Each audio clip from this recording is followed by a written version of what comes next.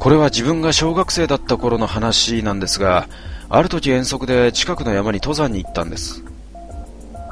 小さな山なんですけど、朝から登り始めて、お昼頃に大きな広場みたいなところに到着したので、ここで昼食をとることになりました。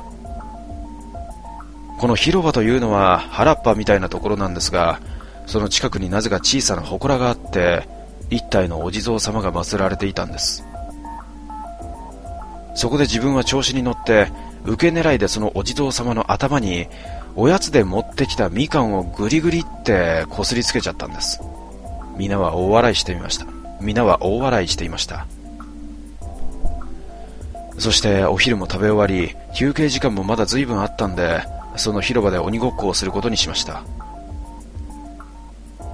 鬼が近くに来たので、自分は鬼から逃れるために必死に走っていたら、いきなりドタッと転んじゃったんです。その場所ってのは、別に足を引っ掛けるような場所でもなかったんですが、まあ走っていたので足がもつれたのかな、くらいにしか思っていませんでした。しかし、その数分後、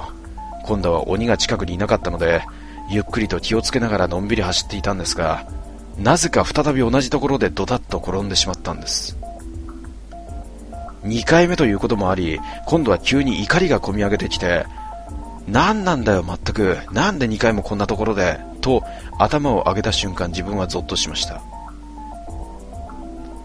なんとそこは、お昼にいたずらしたあのお地蔵様があった場所だったからです。自分は無意識のうちにここを走り、そして二度も同じこのお地蔵様の前で転んでいたんです。すぐに手を合わせたお地蔵様に謝りました。そしたら、その後は一度も転ぶことなく、普通に遊ぶことができました。